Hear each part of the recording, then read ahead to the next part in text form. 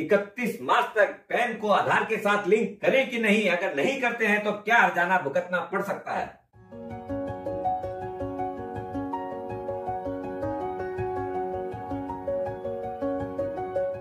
सुप्रभात दोस्तों, आप सभी का एस के हेल्थ एंड वेल्थ में स्वागत है।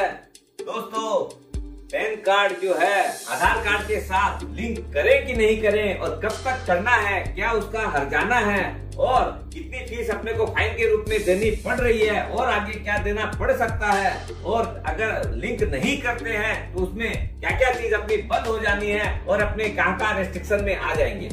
फ़िलहाल गवर्नमेंट ने अपने को विथ फाइन लिंक करने का ऑप्शन दिया है। वो है हज़ार रुपया फाइन हालाँकि बहुत ज़्यादा है। और वैसे इंडिया में क्या है, जब तक फाइन नहीं लगता है, लोग कार्य करते नहीं है। क्यों? कि जब तक डेट भी नहीं आती है, तब तक आदमी लास्ट मोमेंट तक ही वेट करता रहता है। इस चीज़ को आप देखिए, पहले ये कार्य जो है फ्री में हो रहा था, उसके बाद में गवर्नमेंट ने पाँच सौ रूपया का फाइन लगाया, फिर भी बहुत जनों ने नहीं किया है। अब उस चीज़ का हज़ार रूपया फाइन किया है और डेट है इकतीस मार्च 2023 दोस्तों उसके पहले पहले आप कर लें, नहीं तो अपने आप क्या क्या नुकसान हो सकता है उसकी डिटेल लेते हैं। सबसे पहला जो चीज़ है, वो आप कोई भी नया बैंक अकाउंट नहीं खोल पाएँगे। अगर पुराना अकाउंट है तो ये भी आजकल बैंक लोग जो है, हर बारह महीना में री के करनी पड़ती है। अगर आपका बैंक आधार के साथ लिंक नहीं रहेगा तो वो अकाउंट जो एग्जिस्टिंग है, वो भी इनऑपरेटिव हो जाएगा। आजकल हर आदमी मोटा मोटी शेयर मार्केट में काम करता है। अगर जब डीमेट अकाउंट खोलने जाएँगे तो वो भी आपका नहीं खुलेगा अगर पैन आधार के साथ लिंक नहीं है। इसलिए अगर ट्रेडिंग करनी है तो वो भी आप करके रखिए। स्मॉल प्रॉपर्टीज़ की अलग बात है। वैसे तो पचास हज़ार के नीचे कुछ आना नहीं है, लेकिन कोई भी आप प्रॉपर्टी ट्रांजेक्शन करने जाएँगे तो उसमें भी आजकल पैन कार्ड ज़रूरी है और वो भी आधार लिंक। आप खाली डीमेट अकाउंट का मतलब ये मत समझिएगा, अगर म्यूचुअल फंड में भी कहीं इन्वेस्टमेंट करने जाएँगे तो वहाँ भी केवाईसी ज़रूरी है। अगर आपका, वहाँ पर भी अगर पैन आधार लिंक नहीं है तो आपकी केवाईसी नहीं बनेगी तो आप म्यूचुअल फंड में भी इन्वेस्ट नहीं कर पाएँगे। छोटी मोटी ज्वेलरी की अलग बात है। बिलो फिफ्टी थाउज़ेंड आप फिर भी शायद कैश में परचेज कर पाते हैं। जहाँ की आपको पैन कार्ड की ज़रूरत नहीं है। जहाँ आप पचास हज़ार से ऊपर गए या कोई भी अमाउंट की आजकल मामूली बात है, क्योंकि सोलह ही साठ हज़ार रूपया भरी हो रखा है दस ग्राम का तो आप दस ग्राम का चीज़ भी और उसके साथ में और भी मेकिंग है और वो सब लेके जब लेने जाते हैं, उसके अंदर भी जो है आपको पैन कार्ड कंपल्सरी है, नहीं तो आपको ज्वेलरी भी नहीं खरीद पाएँगे। और एक महत्वपूर्ण चीज़, दोस्तों, आप अगर विदेश जाना चाहते हैं तो उसके अंदर वीज़ा भी नहीं मिलेगा, क्योंकि वीज़ा के लिए भी आपकी आईटीआर ज़रूरी है, और आईटीआर तभी आपको उसकी रिटर्न की कॉपी मिलेगी जब आपका पैन आधार लिंक होगा। अगर आप पैन को आधार लिंक नहीं करते हैं तो सबसे पहला जो खामियाना भुगतना पड़ेगा वो है कि आपका कोई भी इनकम टैक्स रिटर्न आप नया नहीं भर पाएँगे और अपना जो भी पुरानी भी अगर कोई प्रोसीडिंग चल रही हो तो वो भी वही रुक जाएगी। आपका कोई भी आईटीआर रिफंड अगर बाकी है तो वो भी प्रोसेस नहीं होगा। क्योंकि आपका पैन आधार लिंक नहीं रहेगा तो आपका कोई भी अगर टैक्स जो है, वो टीडीएस ज़्यादा कटने लग जाएगा। जब भी इन्वेस्टमेंट करने जाएँगे, समझ लीजिए, अभी टीडीएस दस परसेंट की रेट से कटता है तो आपका अब आगे से टीडीएस ट्वेंटी परसेंट के हिसाब से कटेगा। कोई भी पुरानी रिटर्न अगर डिफेक्टिव हो गई है तो अपने उसको जैसे रिवाइज करते हैं, अगर वापिस से रिटर्न सबमिट करते हैं तो वो भी नहीं कर पाएँगे।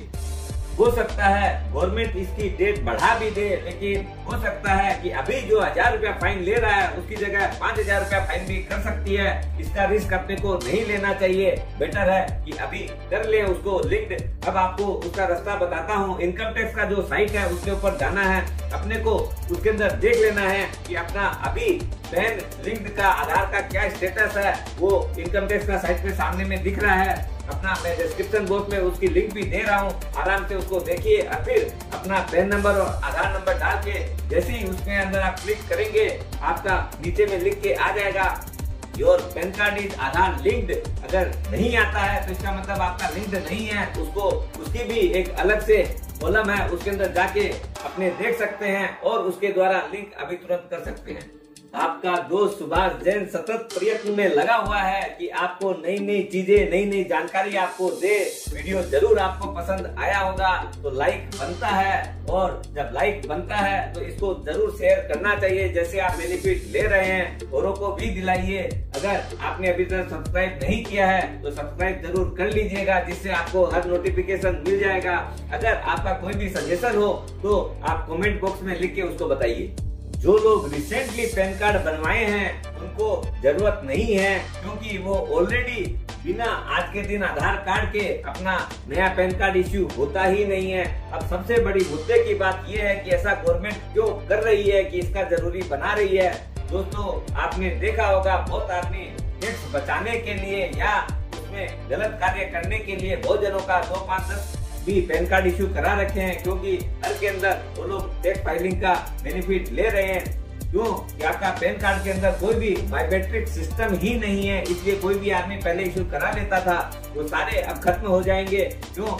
इसके अंदर आधार कार्ड जब भी आप इश्यू करवाते हैं तो आपने देखा होगा, आपका रेटिना आइज़ का भी लिया जाता है, आपकी दसों फिंगर का प्रिंट भी लिया जाता है, और पूरी तरीके से वो फुल प्रूफ सिस्टम है, कोई भी आदमी एक आधार दो आधार इश्यू नहीं करा सकता है एक आदमी का। इसलिए वो सब जितने भी लूपोल्स हैं, उन सबको खत्म करने के लिए जो लोग टैक्स डिविजन करते हैं, उन सबको पकड़ने का ये सबसे बढ़िया माध्यम है।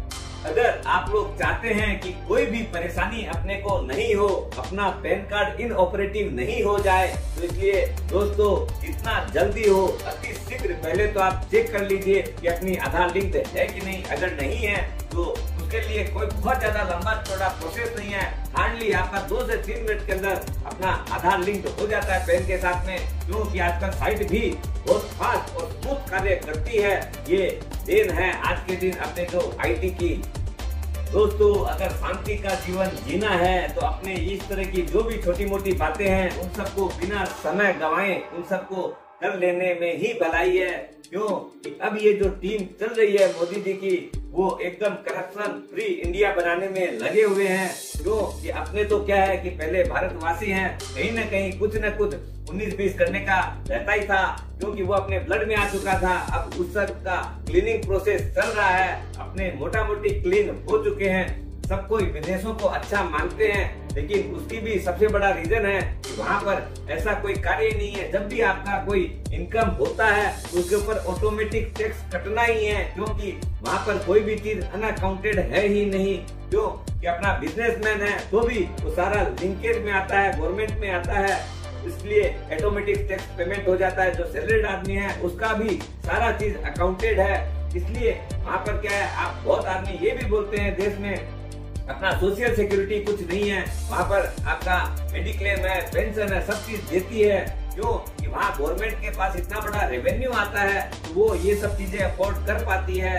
अपने इंडिया के अंदर क्या है कि अपनी जो ये पैरल इकोनॉमी जो चलती है, जो कच्चे की इकोनॉमी बोल दीजिए, या गैस की जो इकोनॉमी है, जिसके ऊपर टैक्स नहीं देना पड़ता है, इसकी वजह से भारत के पास उतना रुपया नहीं आ पाता है, जितना कि गवर्नमेंट के पास आना चाहिए टैक्स का, इसकी वजह से भी अपने उस चीज़ से वंचित है। इसलिए दोस्तों, अब अपने और समय वेस्ट नहीं करेंगे।